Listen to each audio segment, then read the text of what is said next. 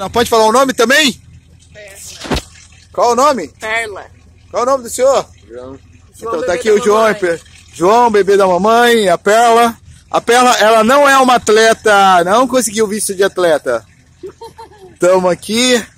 Isso daqui é. Como é que é o nome dessa cidade aqui? Tewksbury.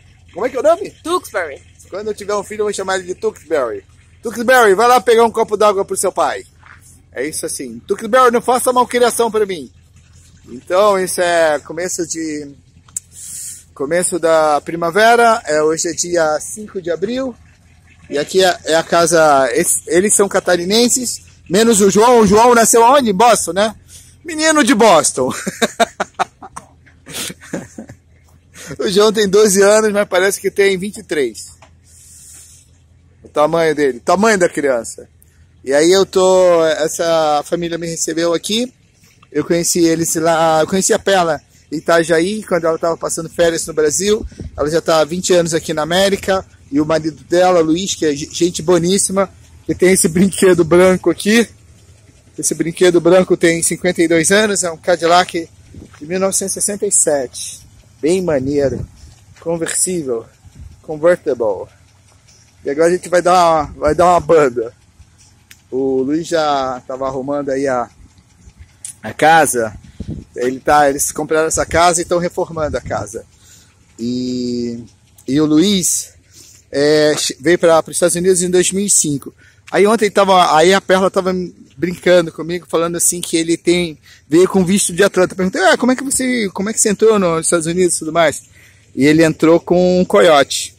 Ele demorou seis dias da cidade, que se eu não me engano é Cocal, lá em Santa Catarina, até chegar em Boston. E aí ele pegou um avião pro, foi para São Paulo, eu acho que aí pegou um avião para o México. E aí ele com mais um grupo. Aí um coiote já recebeu ele lá no aeroporto do México. E aí ele já, esse coiote já extorquiu ele. Mas isso porque ele tem um, tem um amigo, um amigo da família dele lá, lá em Cocal, que fazia esse, esse translado, custava 9 mil dólares, isso em 2005. Mas como é, o Luiz tinha uma família legal lá, tudo tranquilo, ele não cobrou do Luiz assim de cara. E aí, tipo, deixou o Luiz vir pra- cá e, e o Luiz foi pagando. Em um ano ele pagou esses 9 mil dólares, trabalhando e conseguindo grana. E as histórias muito interessantes. Aí eles falam que esse daí é visto de atleta, porque você veio correndo pela fronteira do México. Imagina. Eles contam umas histórias que não são tão poéticas assim, sabe? Que, que os mexicanos estão enrolados nesse negócio. E que, e, e que ele tinha esses contatos, esse cara tinha todos esses contatos com os coiotes, mas ele fazia assim, é, só pagava o último cara, então ele veio diversos transportes cruzando a fronteira, aí ficava num hotel uma noite, aí, aí tipo, aí o, o coiote não falava nada, ele falava assim, olha, quando eu mandar, vocês me seguem. Então nos aeroportos, em todos os lugares, eu, eu comecei a andar, você me segue. Não, não tem. né? E o pessoal seguia. Aí teve um cara que teve um derrame no, no meio da. No meio da, da travessia lá, eles simplesmente abandonaram cara no meio do deserto. Complicado. Aí o Luiz falou que deixou uma garrafa d'água. Aí o coiote falou assim: olha, vai vir um outro grupo aí e vai cuidar de você. Aí o. Aí, tipo assim, o pessoal não queria abandonar ele, falou assim: olha, eu tô indo embora, quem quiser vem comigo, o. Aí eles foram. Pô, tem umas histórias bem, bem enroladas. Eu, eu, esse aqui é, é o Luiz, meu novo herói. Luiz é, como é que é? Luiz do, do Visto Atleta, você vê que ele tem um. Meu Deus, Deus. Deu essa história do. Não, mas que essa agora é pro YouTube, não é uma live. Não, aperta lá, aperta que abre. Aperta que abre. Ai meu Deus do céu. Ape- Aperta. Vai que quebra, né? Olha aí, até o João sabe. É, o John, mas o John é forte, cara. O John é, toma leite americano, cara. Toma leite brasileiro. Então estamos aqui. Essa banheira. Isso daqui, como é que é? É Beth, né? Ah, não tem cinto de segurança esse carro. Legal. A segurança tá aqui. E aí foi assim, aí ele foi atravessando, chegando por diversos lugares. E, e demorou seis dias. E essa aqui? Porra, e agora? Ah, agora eu tô contando a história toda, porque esse vídeo é grande. E nós vai andar ou vai ficar aqui, pelo amor de Deus? Você tem que andar na. Ah, você tá arrumando o som. E, esse carro aqui cabe seis pessoas. Três na frente e três atrás. E essa é a vizinhança, é bem legal. Tem como baixar um pouquinho aí, pelo amor de Deus? Pô, mas que visita chata essa, né? Me incomodando. Bom, uma coisa que eles me falaram, que aqui tem aquela tradição mesmo. Quando você muda, que nem eles mudaram agora, Aí ninguém veio trazer a torta de maçã, sabe? Tem a história da, da torta de maçã. Ninguém trouxe torta de maçã, mas que, que o pessoal vem realmente dar uma, umas boas-vindas. Então é coisa de quem.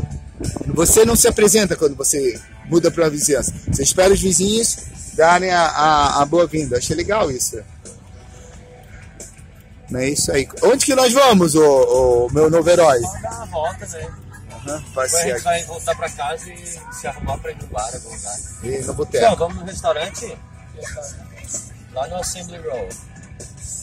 Então é isso. Ó, como eu te falei, olha, fez, ontem fez 1 grau, 2 graus. Agora já subiu a temperatura, tá 15 graus. 15, 16 graus.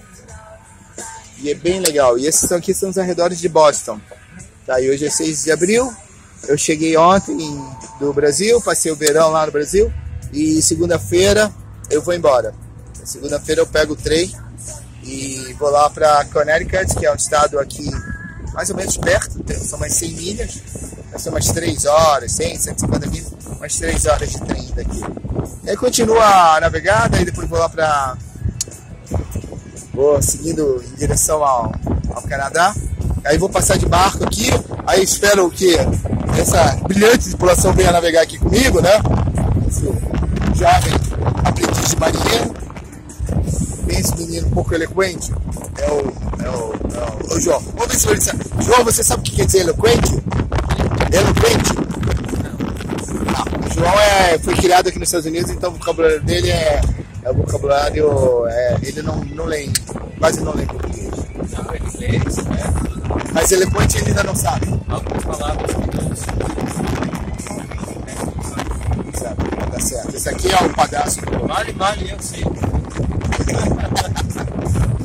Mas então, mas é, é, e, o, e o nosso amigo aqui, Luiz, está com essa barba porque ele está querendo fazer um estágio lá no estado de Utah. E aí você precisa ter essa barba.